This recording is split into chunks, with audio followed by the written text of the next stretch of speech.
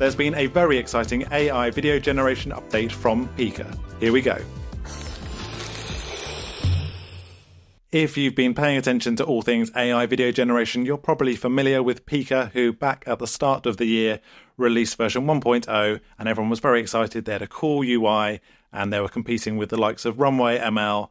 And I played with it at the time, but it never quite lived up to the hype for me, at least. Since then, we've not heard a great deal from them, and Runway have gone on to improve over time. And we've had other releases from the likes of Kling, Luma Labs, and their Dream Machine. More recently, we've had Minimax, plus early previews of Adobe's Firefly video generation tool, Seaweed, a new AI video platform from ByteDance, the makers of TikTok. Looks very promising. And of course, Sora from OpenAI, which we're still waiting for. But Pika are now back with a new 1.5 release, enabling us to do longer, bigger, better generations, as well as prompt for some very cool visual effects.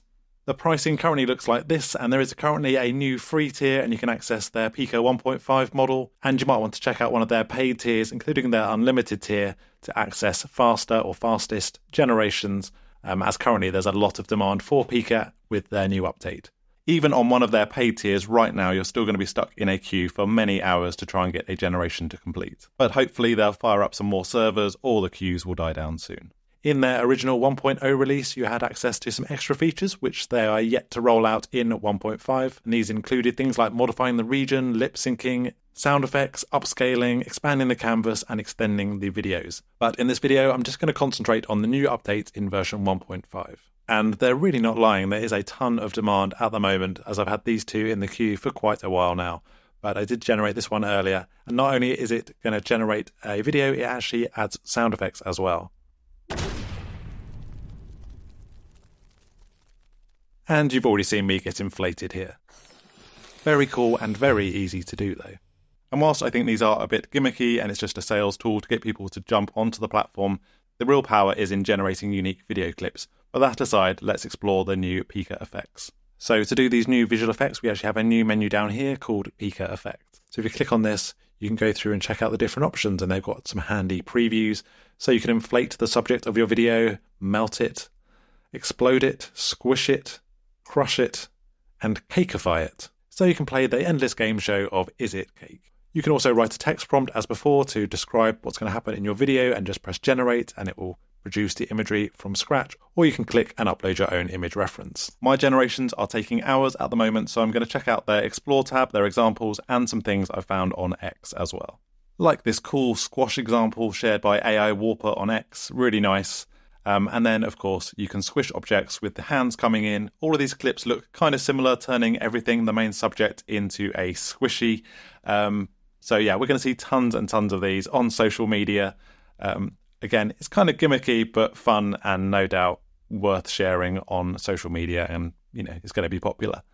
And I actually successfully turned this Game of Thrones dragon into this super squishy, cute dragon. You can also melt things, create your own kind of Terminator style scene. Again, use case seems a little bit limited, but it's kind of fun. This scene's really cool. It's got that sort of Sandman effect. Um, or just melt Will Smith with spaghetti. But a very cool creative effect. Whether you could achieve something similar in Runway, I'm not sure. And you can blow stuff up, which actually looks pretty cool. And there's lots of detail here, which I think is nice and could be useful for um, a short film if you want to have a quick, instant, cheap visual effect added to your film. I'm not sure how controllable this is, how it works with different image references, but it does look cool in these early results. And you can inflate a hippo. Um, so again, I think we're going to see tons of things like this on social media, um, and it could suit a you know a marketing ad campaign. And you can play your own game show. Is it cake? Is it cake? Yes, yes, it's cake. Is it cake? Yes, yes, it's cake.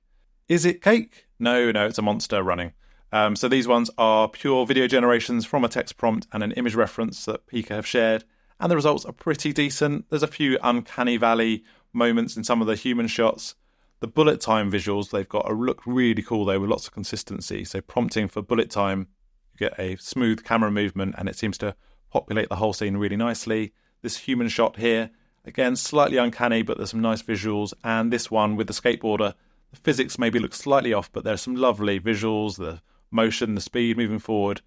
Um, a few months ago, we would have been blown away by something like that. Here's a very impressive running alien clip shared by Elad Richardson on X, and he's actually a research scientist from Pika.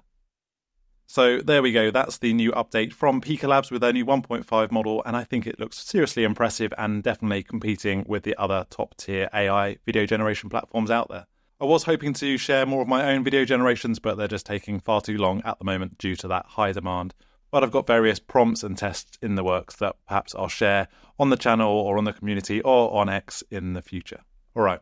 Thanks very much for watching. If you are interested in AI animation, please press like, subscribe, um, and all of that, and head over to aianimation.com to check out some new AI animation courses I'm working on. All right, have a nice day. Cheers.